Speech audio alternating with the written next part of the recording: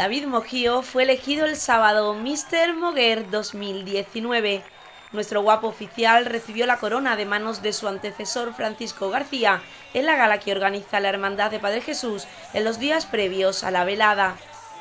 Este joven moguereño de 15 años fue elegido además Mr. Elegancia 2019 por el director artístico de la gala, Víctor González, con quien también cruzó la pasarela.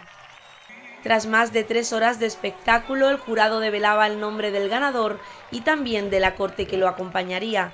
Juan Luis Parrado como primer caballero y Mister Pasarela y Longu Robert como segundo caballero y Mister Social, título que otorga al público a través de las redes sociales.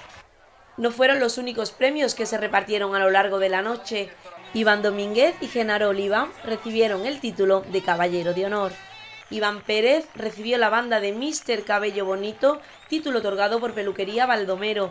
Karim Milla recibió la de Mister Simpatía y Álvaro Ernesto la de Mister Fotogenia, premio otorgado por el fotógrafo oficial del certamen Alejandro Jiménez.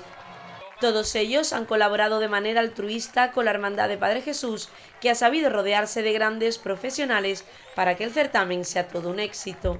La gran repercusión de esta gala se debe también al exquisito trabajo que ha realizado su director artístico, Víctor González, junto a sus ayudantes, José Manuel Rodríguez y María Ángeles Garrido. La animación de la gala llegó de manos de la Escuela de Baile Flamenco que dirige Virginia López en el Liceo Municipal de la Música de Moguer y del show de danza que ofreció School Patrick.